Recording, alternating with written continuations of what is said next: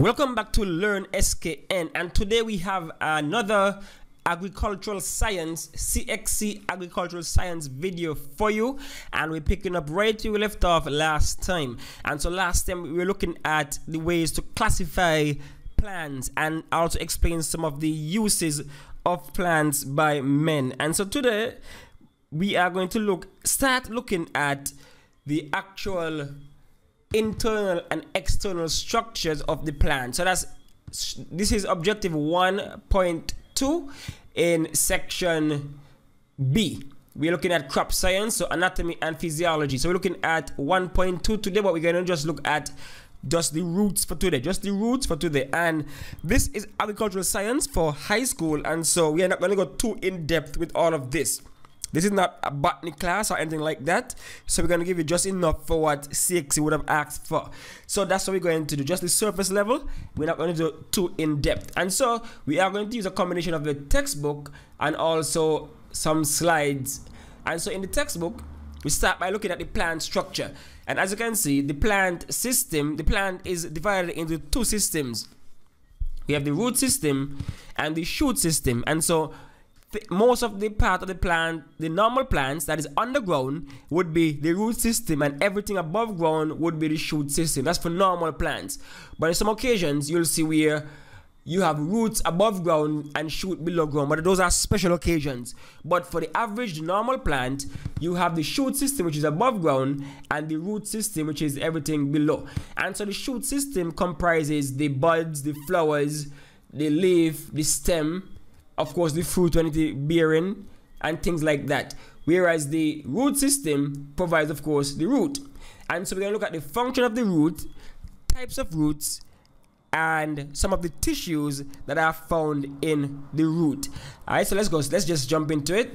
Roots function of the root. Anchor the plant absorb water and minerals store food propagate or reproduce some plants. So those are some of the major functions of the root. It provides anchorage for the plant, as in keep the plant nice and steady in the ground. It takes up water and nutrients and minerals, and it also store food in some plants and can be used to propagate or reproduce new plants because some plants don't have seeds that are viable for planting. So you have to use the root to propagate new plants. The seeds might be too small and so they cannot really be planted. So you're going to use the root to propagate or reproduce those new plants. And of course, some plants use the root to store their food and sometimes we eat some of those in the form of root crops. And then we have, of course, the plant. The root absorbs water and minerals and nutrients from the soil through the process, process of osmosis. And of course, the major function is to anchor the plant firmly into the soil. So these are the major functions of the root system on a given plant. And now we're looking at the types of roots. So we have about four main types of roots. So we have the taproot, the fibrous root, the adventitious root, and the aerial root. And so we have the taproot. Taproot consists of a main or tap root, which root with lateral roots growing out to the side like a tomato or a mango. So in essence, the taproot, you have a main root coming down and some secondary roots coming off. Then you have the fibrous root, consists of a cluster of roots growing from the base of the stem. Normally you can find this in grass type plants. You have coconut palm, you have corn, and most grass type plants. Most monocots would be fibrous rooted. Then you have what we call the adventitious root. Or this is, this is one of the roots I was saying is in a, in a special case. These adventitious roots, as you can see here, look at that right here, have the have the origin in the plant tissue other than the root. So in a sense, they grow anywhere from the plant except for the root system. So they're not they don't really arise from the root system like normal plants in normal in some plants. They come from branch or leaves or anything in the shoot system. So these adventitious roots they come from the shoot system in the plant. They are not inherent to the tissue that they arise from as they originate in tissues that is above ground. So that's the adventitious root. And then you have the aerial root and the aerial root grows above ground. So the aerial root can be, as you can see here, kind of advent, kind of fibrous. You can see it similar to fibrous, but just that it's growing above ground. So those are the four major types of roots the taproot, the fibrous root, adventitious root, and the aerial root. And so let's look at taproot again. You have a plant example right there. One main root, no nodes, continuation of the primary root, ideal for anchorage, penetration is greater for water, storage area for food. So most taprooted plants, you have the carrots, like for example carrots, you would store the food and stuff in those kind of plants.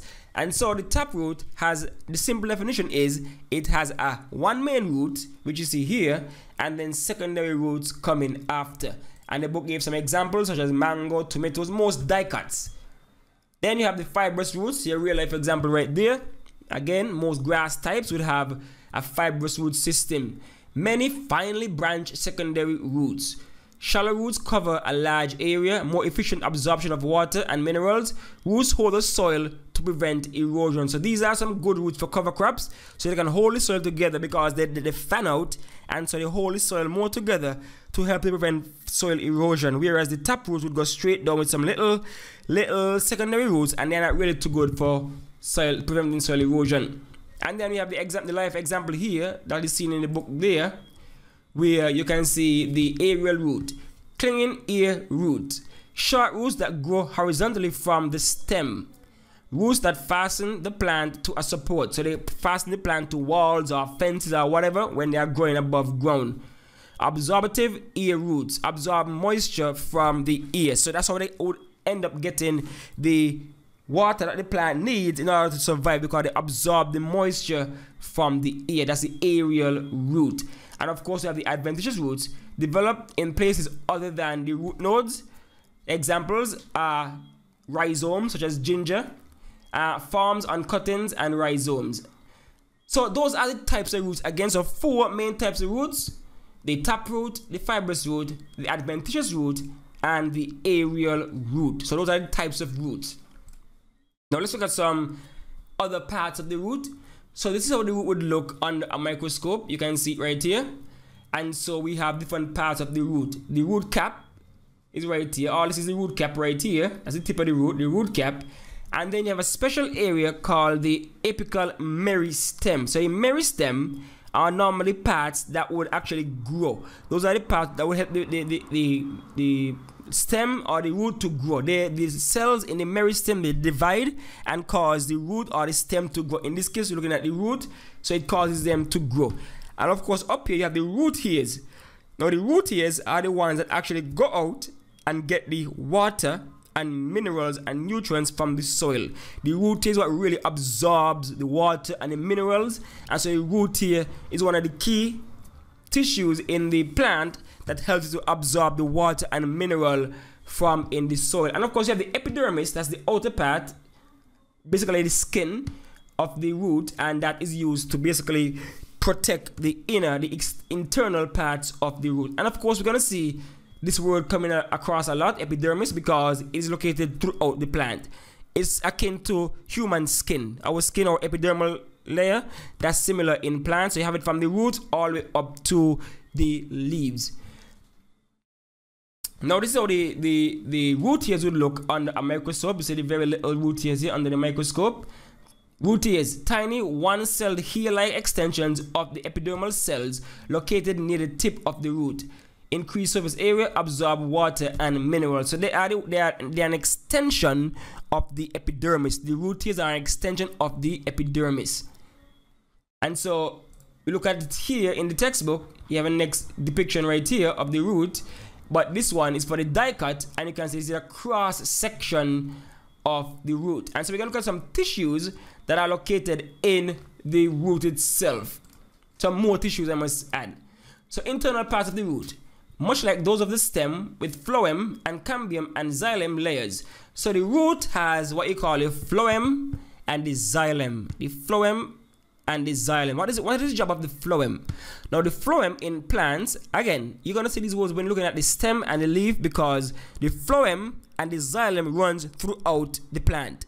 Together they are called, with the cambium, they're called the vascular bundle or the vascular tissues. And so the vascular tissue is made up of the phloem, the xylem, and you have the cambium. So let's read this one here. The internal structure of a young dicot root is made up of four types of tissues. The epidermis, this is a single layer of cell on the outside of the root that protects the young root and absorbs water and minerals via the, of course, the root hairs. The cortex, this forms most of the young root tissue with many unspecialized thin-walled cells. You have the endodermis. This is a single layer of cells that control the movement of soluble materials between the cortex and the vascular tissue. And I just mentioned the vascular tissue. So the vascular tissue is combined, uh, a combination of the xylem and the phloem. The xylem and the phloem. So the vascular tissue, this is a cylinder at the center of the root, which is made up of several different types of cells, the xylem, the phloem, and the pericycle. And so we're going to look at them right here. Now, what is the job of the phloem? The phloem, the outer layer, carries food down the plant. And so what we're here, see, okay, so let's just match these two. So the vascular tissue is the transportation system in the plants, the transport transportation system in the plant. This system is responsible for transporting water, minerals, and food all over the plant. Now the phloem is the tissue responsible for food. The phloem carries food from the leaves when it is made from photosynthesis through all the rest of the plants including the root. So the phloem takes the food from the leaf where it was manufactured and takes it to every other part of the plant. So it carries food down the plant. That's the job of the phloem. Now the xylem, the inner layer, carries water and minerals up to the up to the stem. So now remember we said that the root hairs absorb water and minerals from the soil. Now how does it get from the root all the way up to the leaves? That is the job of the xylem tissue. The xylem tissue takes water from the root, water and minerals from the root to all over the plant, the xylem tissue. So the phloem deals with food and the xylem deals with water. All right, so let's let's, so do not mix them up. That's how they are. The phloem is food, the xylem deals with water. So we have them here in the box in the text in the textbook. Xylem in the center of the root. So you can see the xylem right here, the green part in the center of the root, the xylem here in the center of the root. Transport water and mineral ions from the soil to the aerial parts of the plants, from underground all the way up to the leaves and everywhere. The phloem, on the other hand, group of cells formed between the protecting parts of the xylem transport soluble food substances from where they are made in the leaves to the roots. So the phloem takes the food from the tip of the, the leaves all the way down and throughout the whole plant.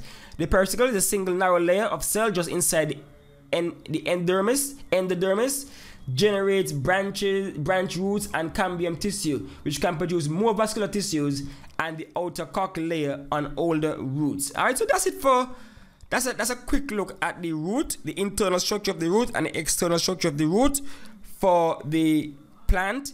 And so let me let's let me take a look at let's take a look at the xylem and the phloem one more time. Right here we have a slide. This is this is how the vascular bundle in a monocot stem would look under a microscope. All right, so you have the xylem tissue, you have the phloem tissue.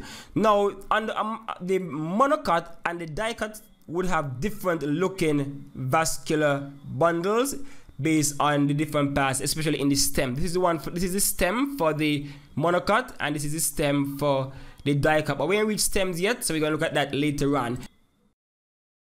Of course, now you can see here we have some examples of root crops. So we have a whole lot of them. We have some sweet potatoes, we have some carrots, some radish, some turnips.